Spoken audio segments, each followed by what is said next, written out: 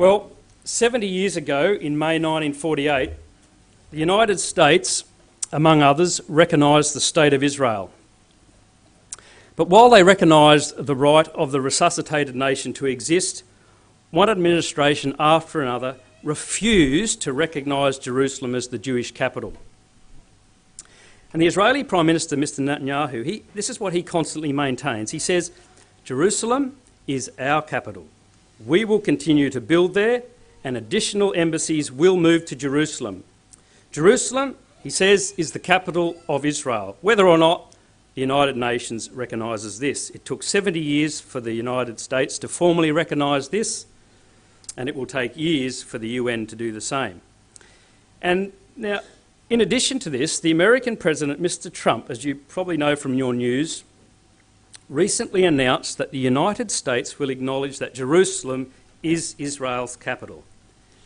And considering the Jewish people's indestructible bond to Jerusalem goes back more than 3,000 years because it was there in Jerusalem, when it was known simply as Salem, on Mount Moriah, that Abraham offered his son Isaac and was credited with righteousness for his faith in God. And later, after vanquishing a horde of foreign invaders from the north in a, what was a daring and lightning raid to rescue prisoners of war, including his nephew Lot, Abraham then enjoyed a fellowship meal of bread and wine outside Salem with a king, Melchizedek, the king priest of Salem. It was also in Jerusalem that King David consecrated the capital of the kingdom of Israel after capturing the city of Jebus, which Salem came to be called, from the Jebusites. He captured this when his elite troops climbed a hidden conduit and gained entrance to the city. Since its rebirth in 1948, the modern state of Israel has placed the Knesset, the seat of parliament, its democratic assembly, within Jerusalem. But now, with America's stand for Israel, America has put a cat among the proverbial pigeons by boldly announcing that Jerusalem is Israel's capital.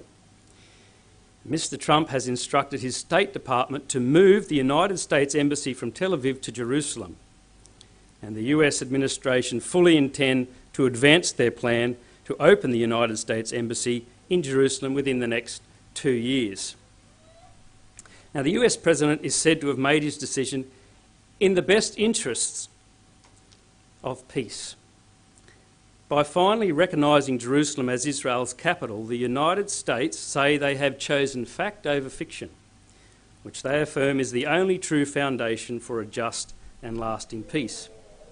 But what do the Palestinians think about this? What's their view? Well, they view Mr. Trump's decision to recognise Jerusalem as the capital of Israel as the slap of the century. And the US stand on Jerusalem has angered not only the Palestinians, but most member countries of the United Nations have likewise had their feathers ruffled. And two months ago, the UN General Assembly, they had a vote and they voted by a huge majority to reject America's formal recognition of Jerusalem as Israel's capital. 128 members voted in favour of the resolution, supporting the long standing international consensus that the status of Jerusalem, which is claimed as a capital by both Israel and the Palestinians, can only be settled as an agreed final issue in a peace deal. But there were only nine states, including the US and Israel, that voted against that resolution. 22 of the 28 EU countries voted for the resolution, including the UK and France. Germany, which in the past has abstained on measures relating to Israel, they also voted, in favour. Wasn't Israel or anyone's decision, it was a, an international consensus that was required. 35 countries abstained, including five EU states, and other US allies, including Australia, Canada, Colombia, and Mexico. And ambassadors from a slew of abstaining countries used their airtime on the podium to berate America's recognition for Jerusalem as the Jewish capital. The resolution that was co sponsored by Yemen and Turkey called Trump's recognition null and void and reaffirmed 10 Security Council resolutions on Jerusalem dating back to 1967 including requirements that the city's final status must be decided in direct negotiations between Israel and the Palestinians. And the resolution also demands that all states comply with Security Council resolutions regarding the Holy City of Jerusalem and not to recognise any actions or measures contrary to those resolutions. But when men speak of Jerusalem, uh, depending on their religious or political persuasion, it is always with passion. Major world religions, Judaism, Catholicism, and Islam, along with a host of lesser known religions, all call Jerusalem home. They all claim Jerusalem as their holy city, their sacred site. Now, I've walked the narrow alleys and streets of Old Jerusalem, squeezing among the jostling crowds of the Damascus Gate markets, full of Arab stallholders loudly hawking their bagels and their bananas. I've descended down the steep, narrow stairways to wade through knee high cold water deep under the city to explore the waterway dug by King Hezekiah's men to assure a water supply against an impending Assyrian siege of Jerusalem. I've also walked on the Temple Mount and explored the gullies and the ridges around Jerusalem, and I'm sure that some of you in this audience too have done likewise. I've climbed the stairs to the Haram al Sharif precinct and the Al Aqsa Mosque. I've stood on the rooftops of the old city of Jerusalem and watched the sun rise over the domes and spires of the churches, of the mosques and the synagogues, all the while serenaded by the clanging of church bells. And in a tight thoroughfare, I've been almost bowled over by a fervent formation of, of Hasidic Orthodox Jews with their tightly curled side locks, their black suits and their hats and their shoes, all marching in lockstep to the Wailing Wall for their prayers. I've also experienced the generosity and hospitality of both Muslim and Christian Arabs within that city and elsewhere in the Middle East. So, the question Jerusalem, whose capital? It's a very thorny question, isn't it, for leaders of the world, both political and religious. Yet it need not be so if they would only turn to the Bible. So, we want to look at Jerusalem from God's point of view. And before we endeavour to prove the statement posed by our title tonight, the Bible tells us whose capital Jerusalem will be, I want to lay some groundwork on the ancient city itself from God's perspective.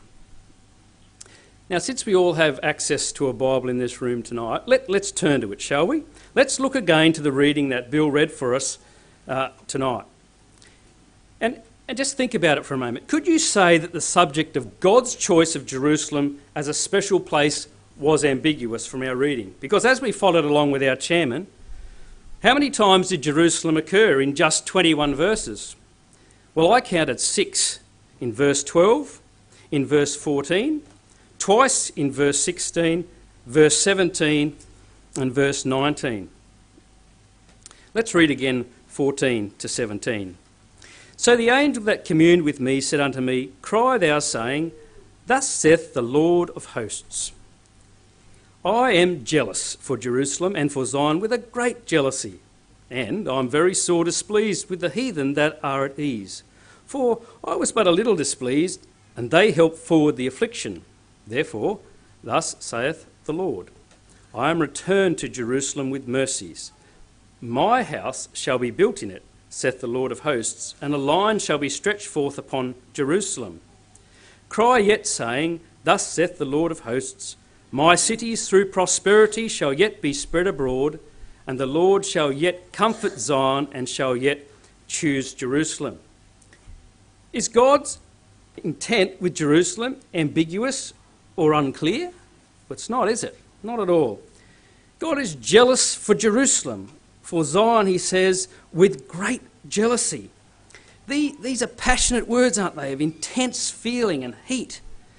And you know, just in case we miss the point of God's feelings toward Jerusalem, he explains them again to the prophet Zechariah in chapter 8.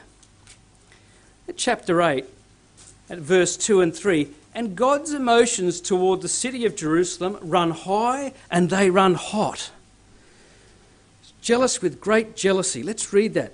Thus saith the Lord of hosts, Zechariah 8, verse 2 I was jealous for Zion with great jealousy, and I was jealous for her with great fury.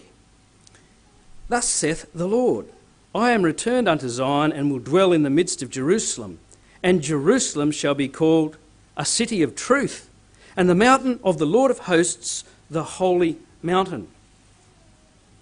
Now, why is God so jealous and protective of Jerusalem? Why so much heat? And why does God care about Jerusalem anyway? Surely He's got more important things to do, superintending the universe? Why would God, the Lord God of hosts, be so concerned with the dust and the stones of a tiny dot of a city on this earth and the people who inhabit it? Why all this raw emotion, this jealousy about this city, Jerusalem? Well, in Zechariah chapter 7 and verse 8, we read these words And the word of the Lord came unto Zechariah, saying, Thus speaketh the Lord of hosts, saying, Execute true judgment and show mercy and compassions every man to his brother. And oppress not the widow, nor the fatherless, the stranger, nor the poor. And let none of you imagine evil against his brother in your heart. But they refused to hearken and pulled away the shoulder and stopped their ears that they should not hear. Yea, they made their hearts as an adamant stone, as hard as a rock, lest they should hear the law and the words which the Lord of hosts has sent in his Spirit by the former prophets. Therefore came a great wrath from the Lord of hosts. Therefore it came to pass that as he cried, and they would not hear, so they cried, and I would not hear, saith the Lord of hosts. But I scattered them with a whirlwind among all the nations whom they knew not. Thus the land was desolate after them, that no man passed through nor returned, for they lay the pleasant land desolate. See, God chose the Jewish people to be unique, to be special, and to represent Him because He made promises to their ancestors for their faith in Him. And God expected a set of behaviours, it was only fair, wasn't it, from His people, but they willfully set them aside. And what's the context of this set of verses we've just read from chapter 7? Well, the Jews are actually in exile in Persia for their rebellion against their God. His patience with their sins has run dry, and so he deploys the proud Babylonians who evict the Jews from their beloved city as we might sweep scrapes from our dinner plate into the bin. But you know, the predicted eviction meant 70 years of banishment until another king came along, a king called Cyrus, and he was the Persian monarch, and he made this amazing decree. He decreed that the Jews were free to return and rebuild. And this is his decree, and it's found in Ezra 1, verse 2 to 4, if you're taking notes or if you want to turn it up. Thus saith Cyrus, king of Persia The Lord God of heaven hath given me all the kingdoms of the earth, and he hath charged me to build him an house at Jerusalem, which is in Judah. Who is there among you of all his people? This is quite an astonishing de- decree to people who are, who, who are your captives. He's allowing them to go free. God, his God be with him, and let him go up to Jerusalem, which is in Judah and build the house of the Lord God of Israel. He is the God, which is in Jerusalem. And whosoever remaineth in any place where he sojourneth, let the men of his place help him with silver and with gold and with goods and with beasts, beside the freewill offering for the house of God that's in Jerusalem. So, Cyrus, the Persian monarch, acknowledges and expresses four critical facts about the Lord God and about Jerusalem. One, the Lord God of heaven is the one who has granted me authority over all earthly kingdoms. He was not in any doubt about that. Two, it is by God's commandment that I have the responsibility to lead construction of a house for God. This house will be constructed in Jerusalem, in the land of Judah. And fourthly, it will be the house of the Lord God of Israel in Jerusalem. So, the monarch of one of the greatest empires in world history was not in any doubt about his position or mission in relation to the Lord God of heaven. There was zero confusion, wasn't there, or questions on his association with Jerusalem in Judah, the land of the Jews. Now, that the Jews did return and rebuild their temple as Cyrus decreed, despite fierce local opposition, it's a well known fact.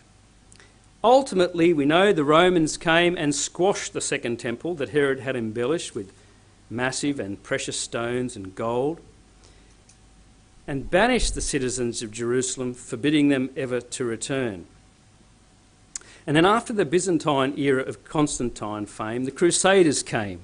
But they were booted from the Holy Land and they lost Jerusalem to the Mamluk Turks in 1187. And the Mamluk, Mamluk Turks rebuilt the city of Jerusalem, but Jerusalem virtually faded away from the consciousness of the world. And it's only in the last 150 years or so that the stage has been set for the rediscovery of the political and strategic importance of the so called Holy City and for a renewal of the love affair of the Western world with Jerusalem. And Russian, German, and other European nations have jostled for a presence in the ownership and the control of Jerusalem. And they've built monumental complexes in their own unique style and have decorated these structures within and without with millions of dollars worth of gold plating and expensive artworks and priceless treasures. And the old city still maintains four quarters Jewish, Christian, Muslim, and Armenian.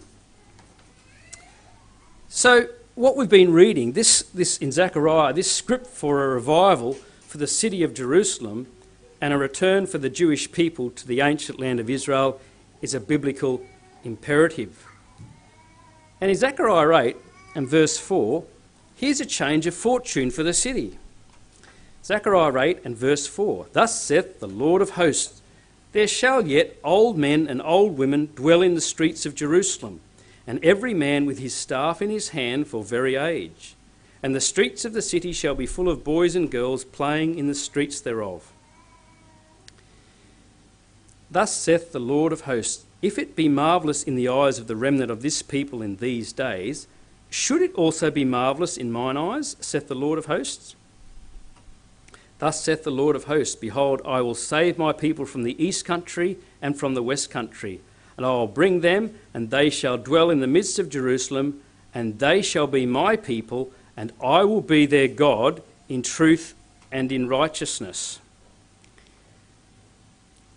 It's a very hopeful picture painted for us by the prophet. It's not now, though there are streets full of people playing, but it's talking about a wonderful future time of peace. Jerusalem is not known on our news broadcast, is it, for a lot of peace? If you take the whole Bible and count the word Jerusalem, you'll find it occurs well over 800 times. In fact, you'll discover that the Bible is all about Jerusalem. And so too is this prophecy of Zechariah that we're reading from this evening. Because these prophecies were designed to do three things. They were designed to remind the nation of Israel of the Lord God's love for them. They were, to, they, they were designed to criticise them for their sins and the need to change their attitude. And thirdly, they offered a plan of salvation for those people who would be then in distress because of their sins. We can't just set aside the scriptures.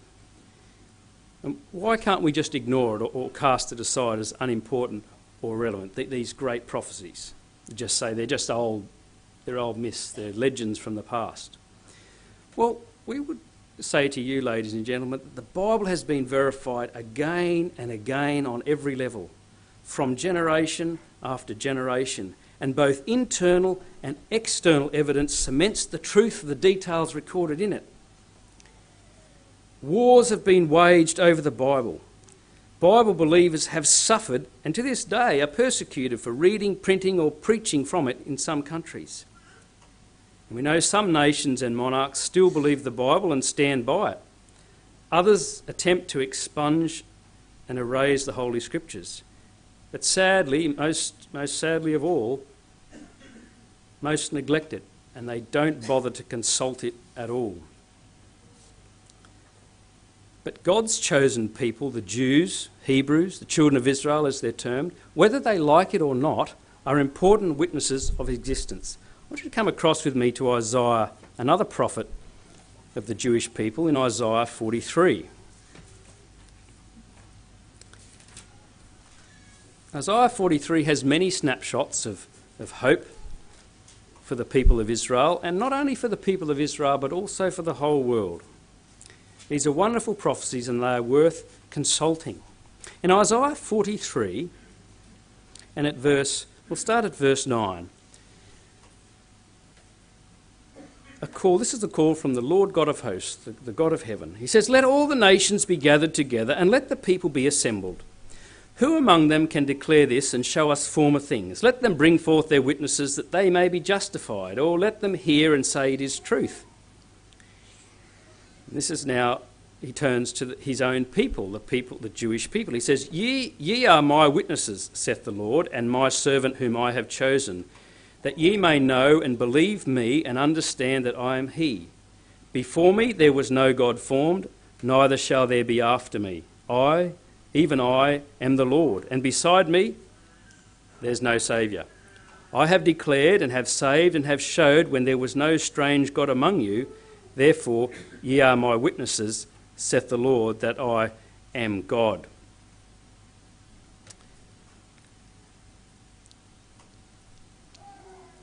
So, to summarise that, what's, what's happening here? So, God is saying, Assemble all the nations around here as though it was an international court of justice. And now I want you to present the evidence to justify your existence and your authority and your purpose. God says, The nation of Israel are my chosen servants, and this is the proof of my existence that I am without beginning or end, that no one is greater than me. I have spoken, God says, saved and shown continuously, despite your worship Israel, of false gods, that there is no other God beside me. And in those other verses, he says, Jews are my witnesses because no one can overpower me. I work to a purpose and no one can block my purpose.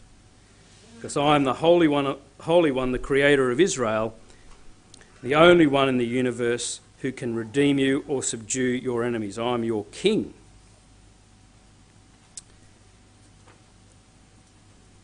And of course, we have the nation of Israel before us in their own land, the state of Israel, as exact proof of this that God is still in control, He is still their great king. Still very much interested in the dust and the stones of that city, Jerusalem. So, whose capital then is Jerusalem? The burning question. Well, while we're in Isaiah, let, us back up to Isaiah chapter 2. Because here, as I said to you, is one of these great snapshots of, of blessing, not only for Israelis, but also for the whole world.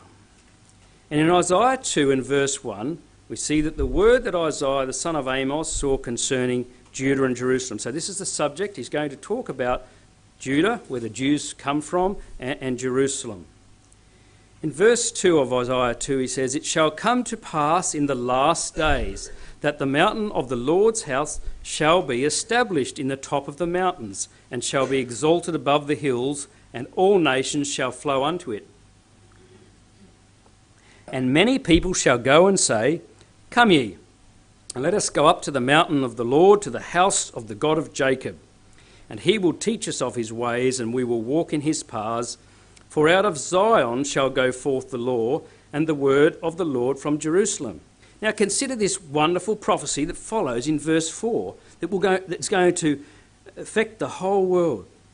He shall judge among the nations and shall rebuke many people, and they shall beat their swords into plowshares and their spears into pruning hooks.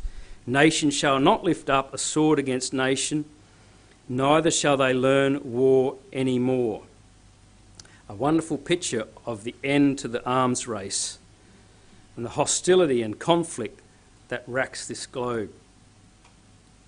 Now, Isaiah was God's prophet to the Jewish nation, and he prophesied around BC 649 through to about BC 588.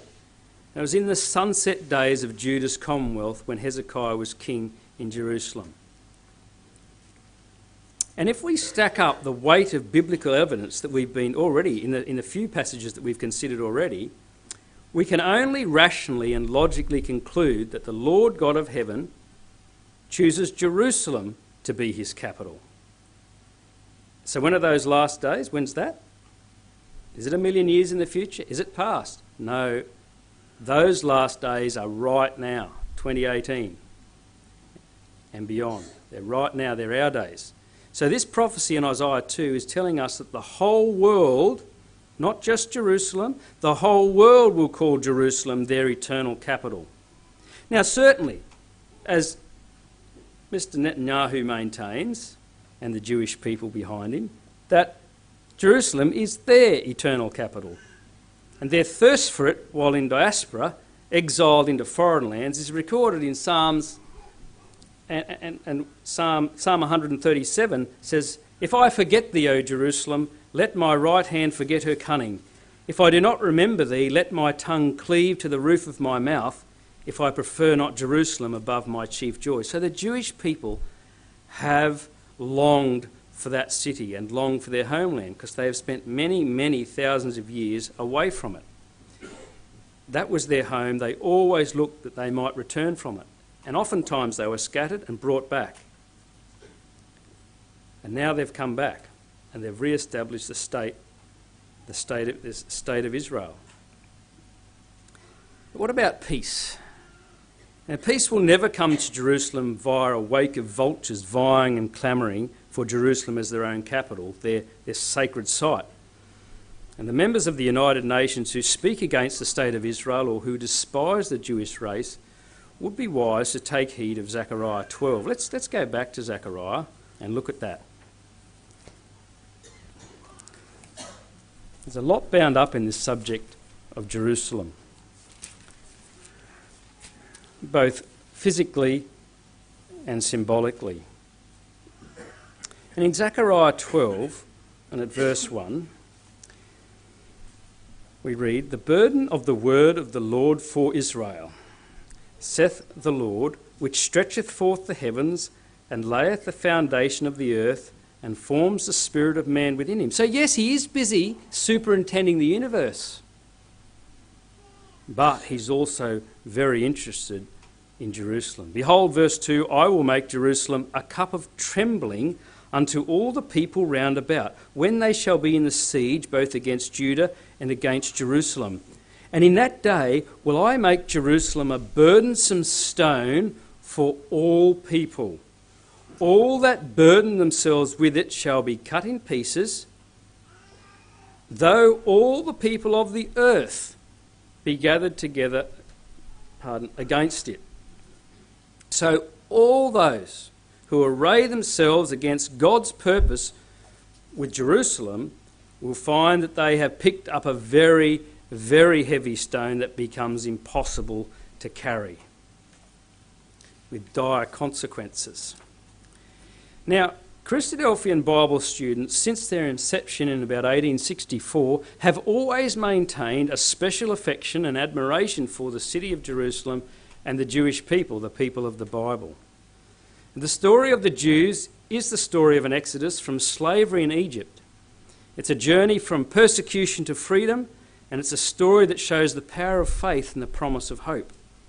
Now, Australia's monarch, Queen Elizabeth II, her ambassadors and ministers of the Commonwealth, Australia's parliamentarians, justice system, even defence personnel, all have turned to the wisdom of the Hebrew Bible for direction, for guidance, and for inspiration.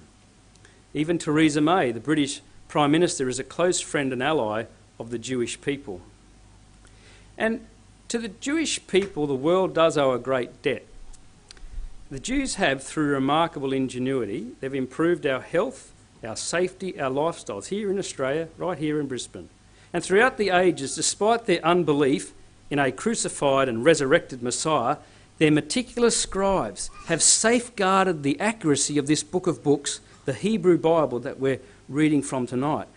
And there's prominent Jewish thinkers that are household names People like Alfred Einstein, who after World War II was offered the presidency of the State of Israel, but, but he declined. It was probably a wise move. But he collaborated with Dr. Chaim Weizmann in establishing the Hebrew University of Jerusalem to foster learning and education. Karl Marx, you may know of him. He was a prophet of social revolution and a champion of the working class, and he gave the world, for better or for worse, the doctrine of communism. Some of us may know of Sigmund Freud, He was famous as the founder of psychoanalysis and the psychiatrist's couch. But to stretch further back in history to Jewish names long since lost in the mists of time, we discover great mathematicians and rational, logical thinkers who developed the basis of trigonometry and improve the science of navigation for marine safety. So Jews have continued to excel on, on every level, delivering an enormous number of inventions and innovations that have taken root on its soil over the past 60 to 70 years, despite challenges of geography, of size and diplomacy. And the ever, is, the ever churning Israeli mind has brought us things like drip irrigation and the Intel computer chip and the USB key, surgical robots and radiation free medical devices, and the Hewlett Packard digital printing press, among that's just a few things that they're famous for inventing and innovating. Now, the Jewish people may proudly assume that they are their own Messiah, saving the world by their own prowess and ingenuity, or that they have somehow arrived at a position of success and prosperity by their own strength. But the Bible shows us just who is backing Jewish success and why. Come with me to Deuteronomy chapter 7. Deuteronomy 7 is where we hear from Moses, the famous leader of the Exodus, where in Deuteronomy are recorded his last words to that nation before he died. And he reminded them not to forget their greatest benefactor and to always appreciate what the Lord God of heaven had done and would do for them. And in Deuteronomy 7 and verse 6, Moses says, For thou art an holy people unto the Lord thy God. The Lord thy God hath chosen thee to be a special people unto himself above all people that are upon the face of the earth. The Lord did set, not set his love upon you, nor choose you because ye were more in number than any people, for ye were the fewest of all people. But because the Lord loved you, and because he would keep the oath which he had sworn unto your fathers, hath the Lord brought you out with a mighty hand, and redeemed you out of the house of bondmen from the hand of Pharaoh king of Egypt. Know therefore that the Lord thy God, he is God, the faithful God, which keepeth covenant and mercy with them that love him and keep his commandments to a thousand generations. Verse 10 And repayeth them that hate him to their face to destroy them. He will not be slack to him that hateth him, he will repay him to his face. Thou shalt therefore keep the commandments and the statutes and the judgments which I command thee this day to do them. Pretty powerful words, isn't it? About not forgetting their backer, their benefactor, which was the Lord God of hosts. And he continued in Deuteronomy 8 and verse 11. He said, Beware that thou forget not the Lord thy God in not keeping his commandments and his judgments and his statutes which I command thee this day, lest when thou hast eaten and art full and hast built goodly houses and dwelt therein, and when thy herds and thy flocks multiply, and thy silver and thy gold is multiplied, and all that thou hast is multiplied, then, and here's the danger, then thine heart be lifted up, and thou forget the Lord thy God. Verse 17. And thou say in thine heart, My power and the might of mine hand hath gotten me this wealth. And we know that the Israelis are very proud of their innovations and their inventions and their achievements. But, verse 18, thou shalt remember the Lord thy God, for it is he that giveth thee power to get wealth. It's not your own ingenuity. He does this that he may establish his covenant which he sware unto thy fathers as it is this day. And it shall be, if thou do at all forget the Lord thy God, and walk after other gods, and serve them and worship them, watch out. I testify against you this day that ye shall surely perish. As the nations which the Lord destroys before your face, so shall ye perish.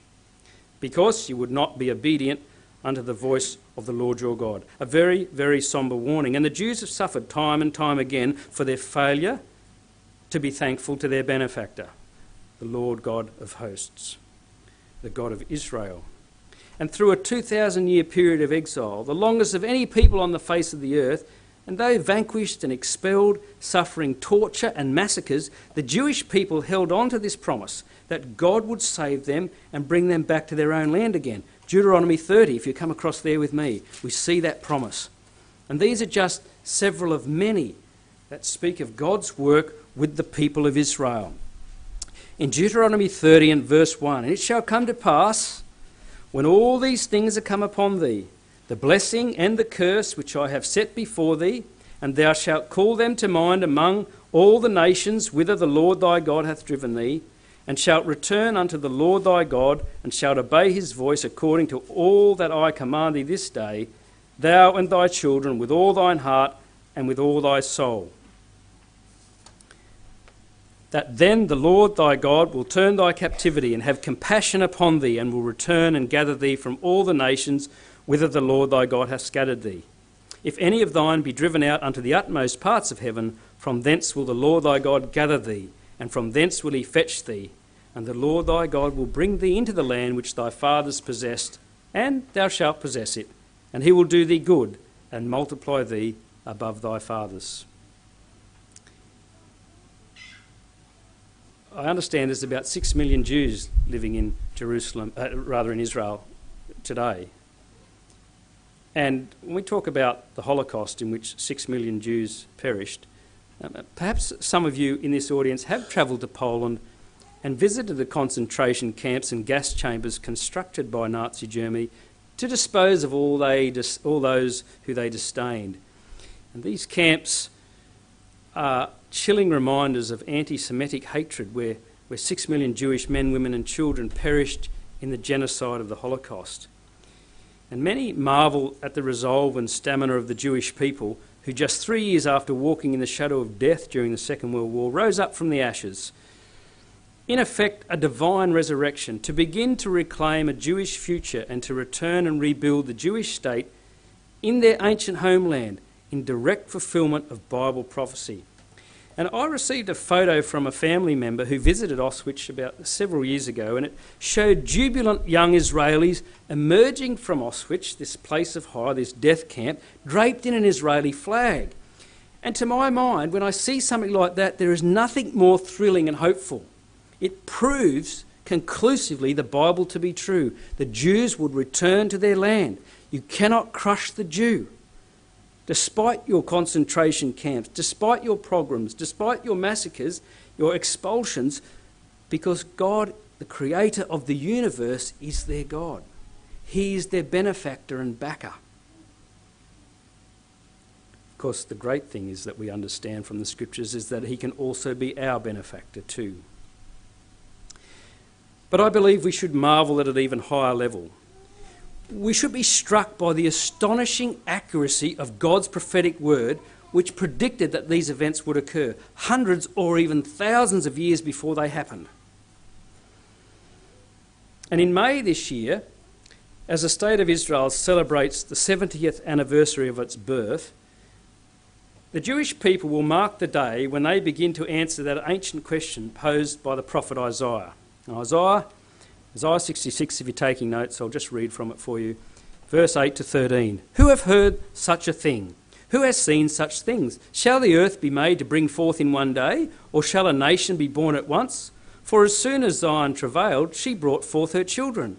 Shall I bring to the birth, says God, and not cause to bring forth? Shall I cause to bring forth and then shut the womb, saith thy God? No, rejoice ye with Jerusalem and be glad with her, all ye that love her. Rejoice for joy with her, all ye that mourn for her. He goes on in verse 12 to say, For thus saith the Lord, Behold, I'll extend peace to her like a river, and the glory of Gentiles like a flowing stream. Then shall ye suck, ye shall be borne upon her sides, and be dandled upon her knees, as one whom his mother comforts, so will I comfort you, and ye shall be comforted in Jerusalem. So it's not two states with two capitals in the one city, one for Jews, another for Palestinians. It's not the toleration and harmony of many faiths, each with their church, their synagogue, or their mosque. And it's not American or European plans to stabilise the region by propping up various religious bodies with millions of dollars as a means to peace, because all these plans are doomed to fail. In fact, it's not even America or any other nation or even the Jews themselves who will chart the roadmap to peace or reinstate Jerusalem as their capital and gain universal acceptance and recognition. The Bible is very, very clear about this. Peace can only come to the Middle East. This peace that we've just read of in Isaiah that flows out from Jerusalem will only come on God's terms and in God's time. Now, there is a suggestion by some that trust and confidence can be a reality among the great nations who call these ancient lands home, and that a remarkable transformation is taking place across the Middle East today with the dawn of a new era of co- cooperation in our day and age. And they say that there's winds of change sweeping across the Middle East, where long standing enemies are becoming partners, and old foes are finding new ground for cooperation, and the descendants of Isaac and Ishmael, Jews and Arabs, are coming together in common cause as never before. Now, uh, the American Vice President, Mr. Mr. Mike Pence, he said in a recent speech while he was in the Israeli parliament, parliament in Jerusalem, he said this.